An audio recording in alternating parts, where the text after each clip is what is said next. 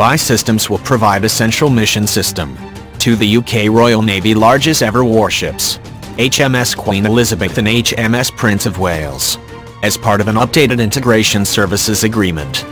Through an addition to the Naval Combat Systems Integration Support Services, BAE Systems will ensure both aircraft carriers are kept ready for operations by providing world-class complex system engine Richard Williams BAE Systems Naval Ships Combat Systems Director.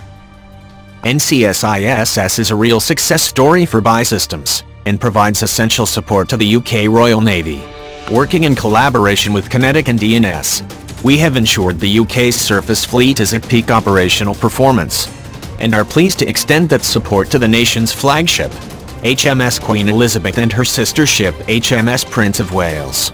Joe Osborne DE&S head of Maritime Combat Systems, said.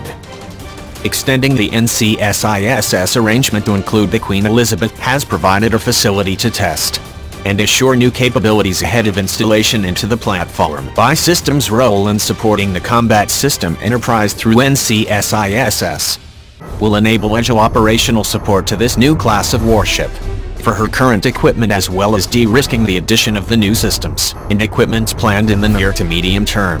The Queen Elizabeth-class mission systems, comprising 62 individual subsystems, are vital for the delivery of aircraft carrier operations and allow crews to assess and respond to threats plan joint air and maritime operations and manage aircraft movements under the new agreement known as NCSISS Phase 2-2. Both ships' mission systems will be supported by engineers based at BAE Systems. Maritime Integration Support Center in Portsmouth. From this dedicated support facility BAE Systems ensures the systems that enable both HMS Queen Elizabeth and HMS Prince of Wales to effectively carry out their operations fully optimized wherever they are in the world.